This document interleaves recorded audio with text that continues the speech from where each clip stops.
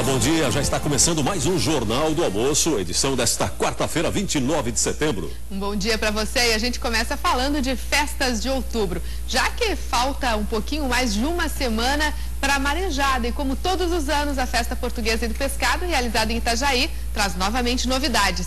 A repórter Deise Somariva conta pra gente. O Centro Eventos está sendo reformado para receber a festa portuguesa e do pescado. Vai haver algumas mudanças na localização das atrações.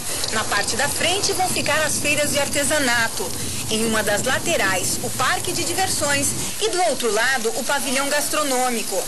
A 24ª edição da Marejada acontece de 8 a 24 de outubro. A parte de gastronomia, que é destaque, traz novidades.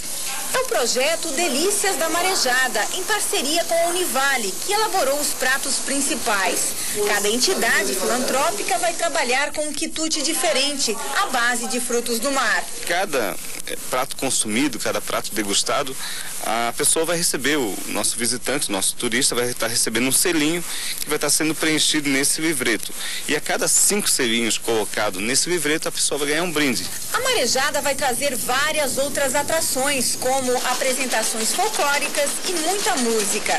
Estão confirmados os shows de Michel Teló, Jeito Moleque, Luan Santana, Roberto Leal e Aline Barros.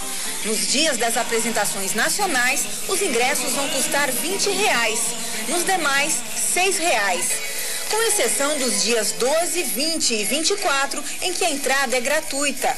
Crianças de até 12 anos, idosos e deficientes físicos não pagam.